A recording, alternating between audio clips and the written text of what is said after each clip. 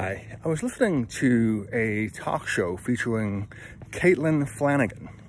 And Caitlin is sort of a Socrates for the suburban school marm set. In the sense that she makes you feel smart in an, in an entertaining way, but doesn't necessarily add to any sort of consistent body of knowledge or wisdom. And what I mean by that is similar to an old wives' tale. It sounds good, it feels good, and it may even be true, but when, unless you test it, it doesn't necessarily mean that it is true, even though it's been passed on from generation to generation and might have worked in the past. And on this episode, she was discussing uh, the pandemic, COVID-19 vaccines. And within this episode, she was saying that she herself had taken the vaccine, and including a booster, but she was fine with public safety officers choosing whether or not to have them.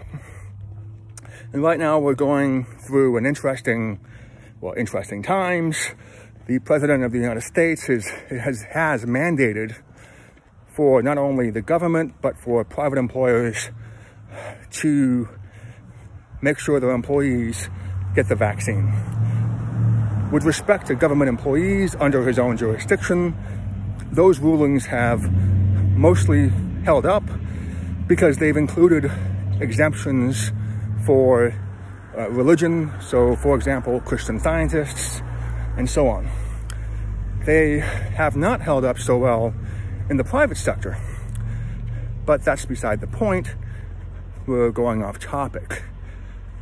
What I wanted to discuss is her rationale for allowing individual public safety officers to decide for themselves whether or not they want to take the vaccine, despite the fact that they are government employees under, under the jurisdiction of the president. And that, that would include police officers, firefighters, and so on. And what she was saying is that if you're going to put your life on the line and you're going to run into a burning building and you just don't want to take the vaccine because you don't think it's safe or you don't feel like it, you should be able to make that choice for yourself. It feels good. You know, when she said that, you initially side with her. The audience clapped you know, you've got these visions of, you know, muscular men running into burning buildings and saving a child. So of course, of course, that kind of a person should decide his or her, his or her health and safety issues on a personal basis. But let's examine why, like an old, old wives' tale, it just doesn't add up. That's one of the fundamental problems right now in this country. Is a lot of things sound good, but once you analyze them, they just don't make any sense. It's been that way for a long time. We'll, we'll try to explain why. So, first of all, it's absolutely true that some, some professions require more physical danger than others. But within law enforcement and public safety, because that physical danger is intertwined with the ability to use a gun, lethal force, including, including in, in the case of firefighters, force that allows them to destroy a home or perhaps a home next door or in order to, you know, better fight a fire. It allows firefighters, not just police officers, the ability to do things that none of us would be able to do without being charged with a crime. Same thing with police officers. If you're executing a search warrant in an apartment complex, you know, you're allowed to go into somebody else's apartment, not the perpetrators. And in, in the process of catching or apprehending a criminal, a suspected criminal, you are allowed to damage property. You, you give public safety officers that kind of discretion because it's part of their job. But in doing so, we require trust. And that trust is based not only on proper training, but also on the fact that police officers and firefighters are subject to checks and balances within a system of which there are only one part of the government. There are two other parts besides the executive branch, obviously the judicial sector and the legislative sector. Without those two branches existing, you would not have checks and balances over misconduct by police officers or even incompetence, depending on how, depending on, on the burden of proof and how the laws are written. And so when you allow police officers to make decisions that affect public safety for themselves in a way that exempts them from the normal process or the normal analysis applicable to the public that they serve. And when that rationale or exemption is not based on something essential or necessarily intertwined with their position, you're creating a class of people that are exempt from oversight and that will believe that they are exempt from oversight. And you can see that now when I applied for my business license, there are, you know, I, I have to, I'm subject, I'm subject to payment.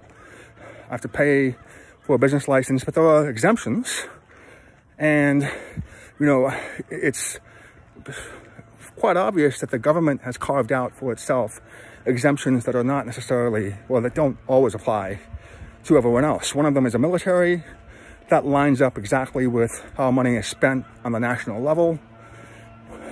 We look at, on the local level, we look at exemptions for public safety officers, and at the state level, exemptions for teachers.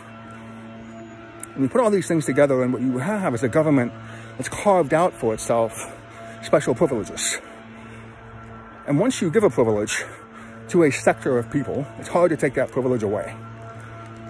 They, it becomes known as an entitlement.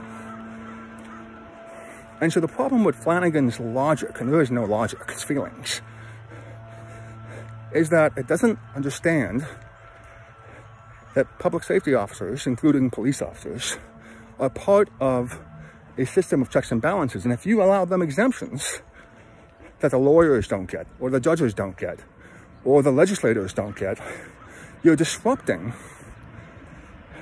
that fine-tuned set of checks and balances in a way that promotes eventual,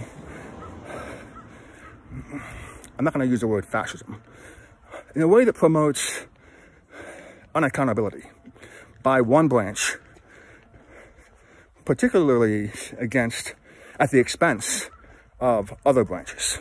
It's a better way to say it. That's happened before in history. And the reason it's important is because, again, that level of discretion is greater than, within the executive branch, what is given to others, other branches of government.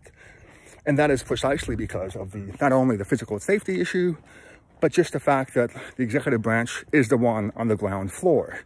In a sense, it's the government's grassroots arm. So number one, Flanagan's speech or monologue does not include any context. And that's a problem because she is a product of an Ivy League home. Uh, she went to a, she herself went to a public, Ivy, a quote unquote public Ivy League school. She has multiple degrees and so on and so forth. But she doesn't understand the law in her own country. She doesn't, she doesn't understand the system in her own country. Well, maybe she does, but obviously not very well. And this is a problem because when the elites become disconnected from the principles of the system that they're sworn to uphold, that also allows the executive branch to run roughshod over not just constitutional principles, but the very foundation of that system of system of checks and balances, which is that oversight is necessary for accountability.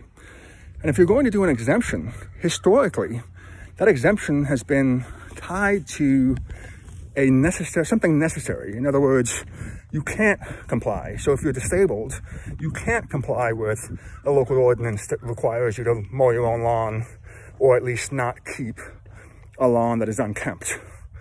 If you can't comply with that, then there's always been an exemption for you. Those exemptions as I've grown up, have multiplied in part because the system of checks and balances has failed. So many people now, will elaborate this on this elaborate on this later on, have claimed exemptions that have been approved that it's made a mockery of the system of checks and balances. And so everyone's now gotten in on the game. That's not because there's something wrong with exemptions based on an, an, inability to comply. It's based on the fact that once you have government unions that interpret the laws that they help pass, there's a tendency to, to be more inclusive than exclusive in order to maintain power and the status quo. And that's where we get away from principles, we get away from logic, and we get a, we get we move towards a society that's based more on, on getting along with each other. In other words, feelings, as opposed to a, princip a principled system that can stand the test of time, or that is better able to stand the test of time, because it, a principled system can include empathy as part of its components, but an unprincipled system will always fail because you're not going to be able to come up with a universal you know, system of principles or a universal idea that applies across the board and that allows merit to rise up. Now, when you put all these things together, you have a failure on the part of the elites to understand their own system, which is, is also what is driving the power of the executive branch over the other branches. And let me give you an example of, of what I just talked about, about empathy. So a Supreme Court case just came out, a decision uh, that, that related to the death penalty.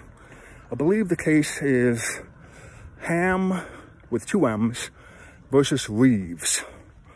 And it's a sad case. And it was a 5-4 decision in favor of execution. Now, let me, let me say that this man would have been executed anyway. The question was, how does he get to choose how he gets executed by the state?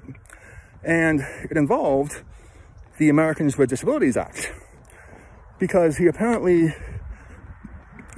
did not, was given a form where he had to choose his method of execution. This is just becoming, you know, surreal. And that's why a lot of judges, including on the Supreme Court, have historically just not wanted to deal with the death penalty and have wanted to ban it just simply because you end up in these just ridiculous positions where you have an inmate that's going to be executed, that's given a form that is written in legalese by the lawyers, not the executive, not the executive branch, and is told to select how he or she wants to die. Well, apparently one of the options was nitrogen, nitrogen hypoxia. I, have got above an 11th grade education, and I'm not sure I would have understood that had it been given to me. And it, the decision doesn't really get into the fact of what was exactly on the form, but he had a choice, and he chose something other than, he chose lethal injection. And later on, this person who apparently can't, obviously is not at an, at an 11th grade level, reading level, changes his mind and says, listen, I didn't understand the form. I'm frightened of dying by lethal injection. I want this other method that I've been told, presumably is less painful.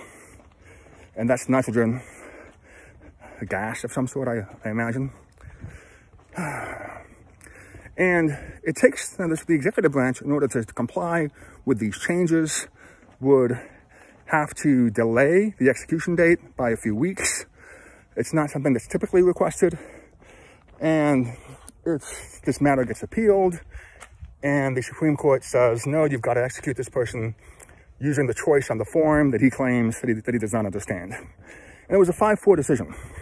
And you can see how, if you're a cynic, you can see how the lawyers might have engineered this situation in order to provide this man with, this, this convict with uh, a few more weeks of life. But you can also see just the, I don't even know the words for it, ludicrousness. I mean, you can just see how once you start creating these sorts of systems that have to be implemented by ordinary people, you can see how simplicity has to be part of the, the component of governance, and it just hasn't been. There is no common person, even a lawyer today, that understands all the laws to which he or she is subject. And every time there's been a movement to move, a, to move into a simpler system, it hasn't worked. Part of that is because society has become more complex, and I fear that this complexity has robbed us of empathy. Because, and, and there's no doubt this decision represents that loss of empathy. Because if you can't allow somebody who, with the facts, say is, is unable to understand a form, you can't allow that person to choose his own method of, of dying, of being, I shouldn't say being executed. There's something wrong with the system. And you have, in this case, the executive, executive branch having essentially co-opted the judicial branch in this case, because what will be the cost? Again, a few weeks, you've got more labor hours that have to be used in order to change the method of execution. And it doesn't seem as if, I mean, the, the evidence was there. Four, four courts apparently ruled in this person's favor with respect to the form. And the Supreme Court in a 5-4 decision says, that's okay, we'll go ahead and rubber stamp what the, what the executive branch wants. And that's possible not only because there's a majority on the Supreme Court that is linked to the executive branch, both racially and religiously. It's possible also because the person being executed might not have been of the same background as the elites on the bench and so on, in, in the majority and so on and so forth. When you start to look at the system of laws as less as a system of principles and more as a system of just power. And as we all know, we've been told power corrupts. But when, when it corrupts in this way, in a way that allows a dissenting opinion, in this case written by Justice Kagan, to thoroughly eviscerate the majority decision, you get the sense that the legal system has failed. Not only in providing checks and balances, but also in terms of maintaining the credibility to provide those necessary checks and balances. And part of that is because there's always been this feeling between the executive branch uh, of antipathy towards the people that would deign or dare to place checks and balances upon them. And you see that with one of these judges um, once said that he was allowed to visit or he went to visit a prison and there just happened to be a riot at that prison on that same day that allowed him to see the executive, branch in action. And he felt, he didn't say this, but he felt like it was staged and so on and so forth. But aside from that, there's this idea that the executive branch has that it can do everything the lawyers can do but the lawyers can't do what they can do or wouldn't want to. It's the same joke that was made in law school, that the jocks in high school become the police officers and the nerds become the lawyers. It's a continuation of that human dynamic. And the reason that's problematic is because on the one hand, it may be true, though obviously not always, but in cases where it's true, it explains a lot of the reasons for that antipathy. Let's take uh, blue collar workers, which, you know, you can see police officers as blue collar workers. They're sometimes patrolling the beat, they're on their feet, they're driving a car, they're dealing with tangible things, not abstract things. And you can see how when you're dealing with things, tangible things, you can see how passing a law especially if it's complicated, isn't going to muster any sort of respect compared to whatever system works on the ground floor that prevents somebody from getting his or her hand finger cut off. And if that system that's been in place has worked and the people believe it works, whether or not you pass a law won't change anything. And that's particularly, well, you, we have in the law, you know, expert witnesses. You know, is supposed to help the court navigate these issues. But a lot of times now, those experts are hired guns. And so they just say whatever that side wants them to say and so on and so forth. And so again, that goes back to a, an unprincipled situation. And so here we are. And because of that dynamic of the blue collar system, always having an emotional leg up on the abstract. There has to be a recognition that the system of checks and balances requires credibility, more so in order to be maintained. But it also seems to require some empathy, but you can't have, you have to have credibility before you can have empathy. And when you look at this blue collar aspect, there's no question that there's a bit of sexism involved as well, because when you're dealing with tangible things, you know, I've sat in on, well, men have an inherent advantage without the use of technology. And I've sat in on meetings with lawyers where they're trying to help blue collar workers and they come up with a system of laws that, again, doesn't seem to understand the underlying dynamics on the ground floor. And I've sat there myself thinking, you know, none of you would be, able to do these jobs. You know, stand, you know, standing on your feet eight hours a day, uh, just dealing with customers, that's a difficult job. It's also a physically tasking job. And it's not an easy job if you've ever done it. And what people at the, in the elitist institutions, I shouldn't even use that word, but what, what people in white collar professions don't seem to understand is that when they're dealing with blue collar professions, the more laws they pass, unless those laws are simple and make sense, in many cases, they only serve to allow within that workforce the lazier people to coexist with the harder working people. And so this is a little bit more obvious when you're dealing with blue collar workers because they tend to deal with physical things that can be counted. And so, you know, widgets and so on. And so you, if somebody isn't pulling his or her weight, the harder working person is clearly going to be, you know, dealing with more work. And so if that system of laws doesn't involve some amount of fairness, you can see how there's going to be disdain across the board for the people that would deign or dare to provide oversight. And that dynamic, again, applies across the board and so on and so forth. The reason that I bring that up is because technology has in some cases made the law superfluous. So if you are dealing with widgets, well, think about how a car used to be made compared to how it's made now. Now it's automated. You know, you need fewer workers and the machines are doing a lot of the work. It's still physically tasking, but technology has done its job. It's made the, the manufacture of, of physical things easier and faster. And so as a result, it's sort of, it's harder to make those arguments because that what used to be made that, you know, women shouldn't have a place in society within the manufacturing plant because they're physically weaker and so they're not going to be able to keep up. The same argument was made for police officers. And again, once you add technology, you start to see how technology, if it's not backed by credibility, renders the non-executive branches superfluous.